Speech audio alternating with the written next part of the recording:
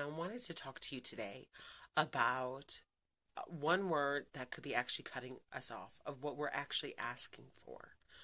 So I know we say a lot of words. Uh, maybe you know this, maybe you don't, but the words that we're saying creates our life. So today I want to talk about a word that we might want to kind of ixnay or remove totally from our vocabulary.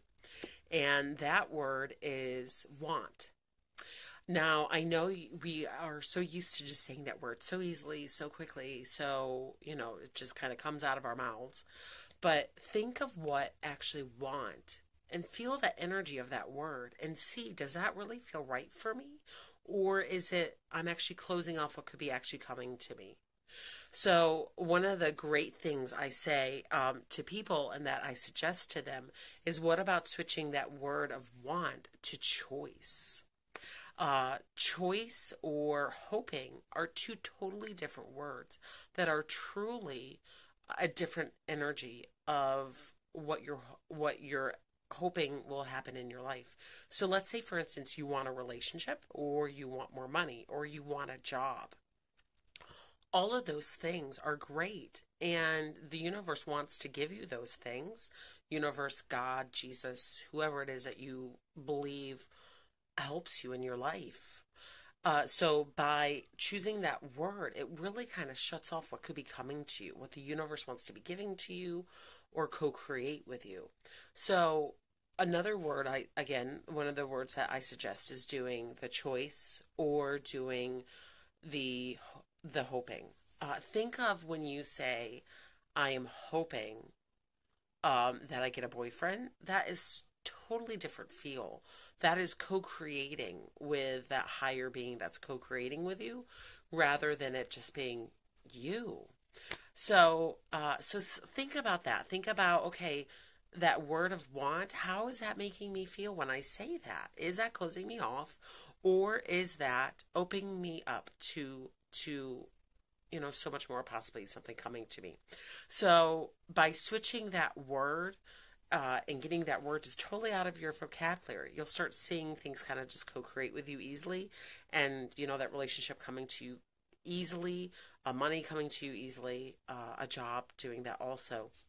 So I would really recommend to to you know re- and remind yourself also that my golly, the words that we say create our lives.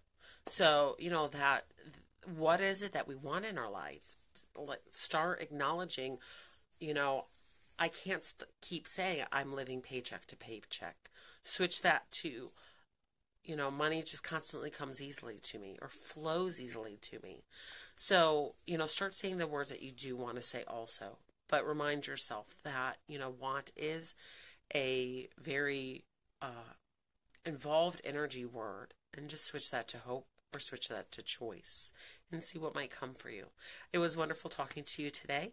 I hope to uh, talk to you about another subject tomorrow. Uh, as always, if you share this video, I will make sure I will do a shout out for your the next video.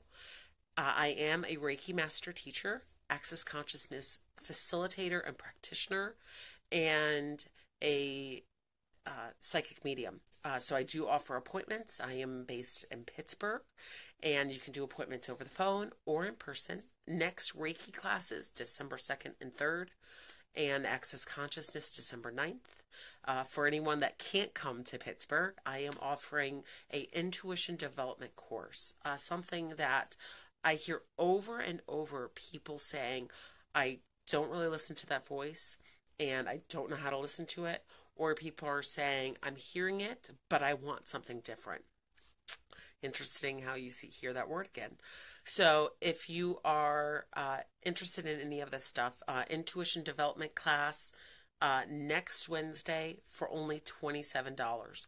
So, um, I hope to see you there. Uh, uh, you'll miss a lot if you don't get to come. So, uh, what else is possible in your life? Thank you and have a great day. Bye.